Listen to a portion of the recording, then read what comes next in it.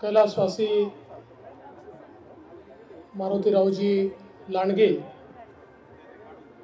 यांच्या स्मृतीप्रित्यर्थ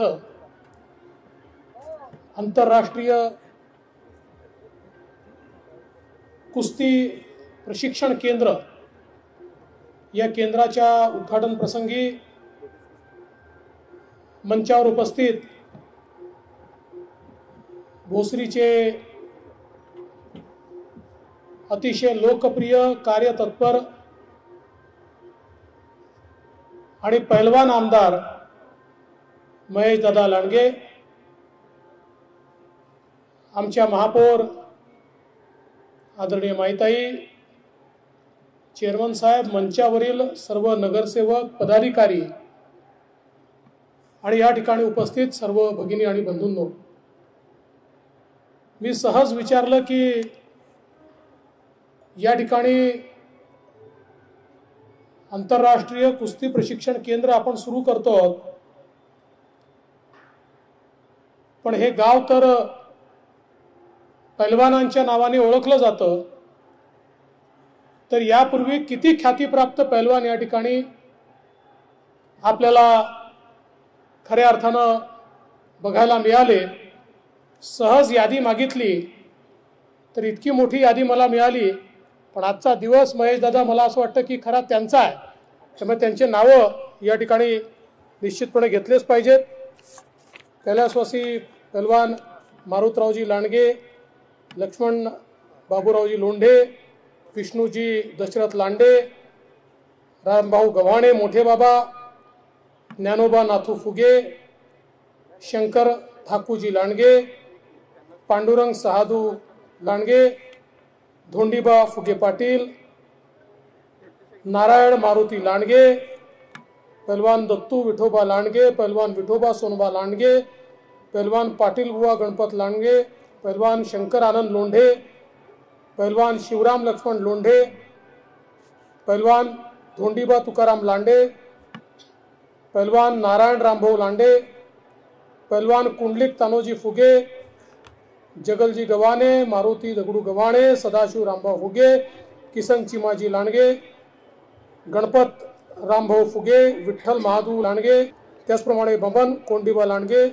नामदेव जयवंत लांडगे हिरामण रामभाऊ लांडगे विश्वनाथ पांडुरंग लांडगे कैलासवासी कचदेव सीताराम लोंढे आणि पोपट सदाशिव फुगे या सर्व कैलासवासी पैलवान ज्यांनी या भोसरी गावची शान वाढवली आणि खऱ्या अर्थानं पैलवान म्हणून एक मोठं नाव कमावलं. या सगळ्यांना आजच्या या प्रसंगी मी विनम्र श्रद्धांजली अर्पण करतो. त्याचप्रमाणे आता जी पैलवान मंडळी या ठिकाणी पुन्हा चांगलं नाव रोशन करतायत त्यामध्ये पैलवान किसनराव शंकरराव लांडगे पैलवान ज्ञानेश्वर पांडुरंग लांडगे पैलवान वसंत आनंदराव लोंढे पैलवान चंद्रकांत नारायण लांडगे पैलवान बाळासाहेब रामचंद्र लांडगे पैलवान तुळशीराम लोंढे पैलवान सुरेश सीताराम लोंढे पैलवान हिरामण बाबूराव लांडगे पैलवान मदन गव्हाणे पैलवान गणपत गव्हाणे पैलवान रंगनाथ फुगे पैलवान किसन आनंद शिंदे पैलवान पितांबर शिंदे पैलवान राजेंद्र बाबा लांडगे पैलवान नारायण गव्हाणे. यापैकी अनेक लोक मंचावर उपस्थित आहेत. काही लोक उपस्थित नाही राहू शकले. आणि या सगळ्या पैलवानांच्या यादीत जे मैदानातही पैलवानी करतात आणि राजकारणातही पैलवानी करतात असे आमचे लोकप्रिय आमदार पैलवान महेशदादा लांडगे असे सगळे खरं म्हणजे आज या सगळ्या पैलवानांचं नाव याकरता मी घेतलं की हा कार्यक्रमच कुस्तीला समर्पित आहे पैलवानांना समर्पित आहे. आपल्या देशामध्ये खरं तर कुस्ती हा अतिशय प्राचीन खेळ आहे. आणि आपण आपल्या प्राचीनतम कुठलंही या ठिकाणी पुस्तक काढलं तरी त्याच्यामध्ये कुस्ती हा खेळ आपल्याला पाहायला मिळतो. आणि कुस्ती खेळामध्ये भारताने खूप प्रगती देखील केली.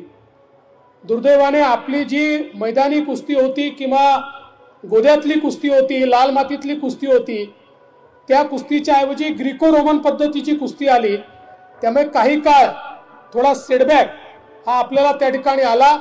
पण आता पुन्हा एकदा भारतीय पैलवान हे संपूर्ण विश्वामध्ये आपलं नाव कमावत आहेत आणि मला विश्वास आहे की येत्या काळामध्ये पुन्हा एकदा कुस्तीच्या खेळामध्ये जगामध्ये सर्वाधिक मेडल जर कोणाला मिळतील तर ते आमच्या भारताला मिळतील. पण हे मेडल जर मिळवायचे असतील तर मेडल मिळवण्याकरता तशा प्रकारचं प्रशिक्षणाची आवश्यकता असते. आणि आज हे आंतरराष्ट्रीय प्रशिक्षण केंद्र या ठिकाणी सुरू झाल्यामुळे मला विश्वास आहे दादा येत्या काळामध्ये भारताकरता मेडल मिळवणारा कोणीतरी याच कुस्ती प्रशिक्षण केंद्रातनं तयार होईल आणि संपूर्ण जगामध्ये भारताचं नाव हे खऱ्या अर्थानं मोठं करण्याचं काम या ठिकाणी होईल. आज खरं तर इतके चांगले कार्यक्रम हे या पिंपरी चिंचवडच्या महानगरपालिकेने या ठिकाणी घेतले. माझा सकाळपासून हा पिंपरी चिंचवड मधला सातवा कार्यक्रम आहे. अजून आठव्या ठिकाणी यंदा मला द्यायचं आहे. त्याच्यामुळे मी अधिक वेळ आज बोलणार नाही.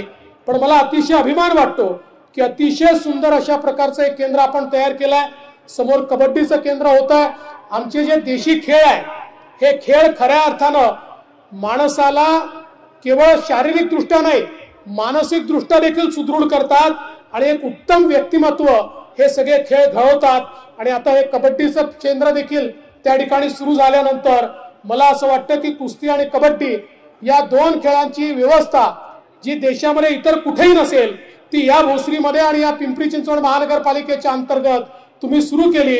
म्हणून तुमचं महापौरजी चेअरमन साहेब नगरसेवक आणि विशेषतः महेश दादा तुमचं मनापासून मी अभिनंदन करतो. सर्व पैलवानांचं मनापासून अभिनंदन करतो. आणि आम्हालाही येत्या काळामध्ये कोणाला तरी चितपट करायचंच आहे. ते योग्य वेळी आम्ही करू त्याची चिंता करू नका. एवढंच या ठिकाणी सांगतो आणि माझं बोलणं संपवतो. जय हिंद जय महाराज